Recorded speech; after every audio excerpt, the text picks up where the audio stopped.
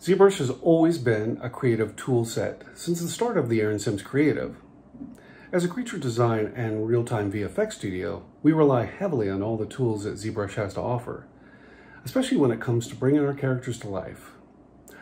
I couldn't imagine ASC without ZBrush.